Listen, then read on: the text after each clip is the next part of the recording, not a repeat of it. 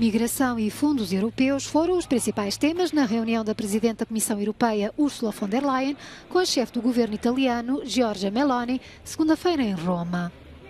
Para a líder italiana, é fundamental que haja avanços na implementação do Pacto de Migração e Asilo, sendo Itália uma das principais portas de entrada na União Europeia para quem busca trabalho ou refúgio.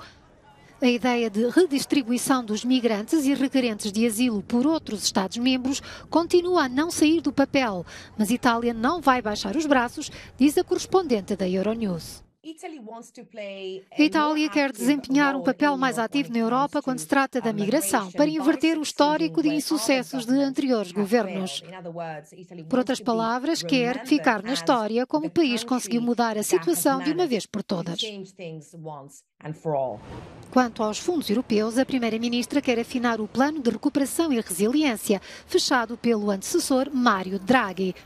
O governo de Roma vai receber o maior envelope de dinheiro entre todos os Estados-membros, 191 mil milhões de euros.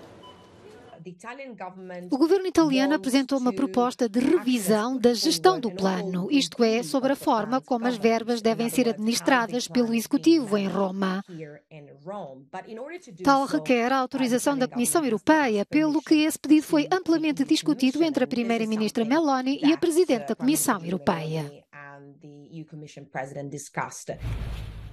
Ursula von der Leyen aproveitou a visita à capital italiana para prestar homenagem ao anterior presidente do Parlamento Europeu, David Sassoli, que morreu há um ano, quando ainda estava em funções.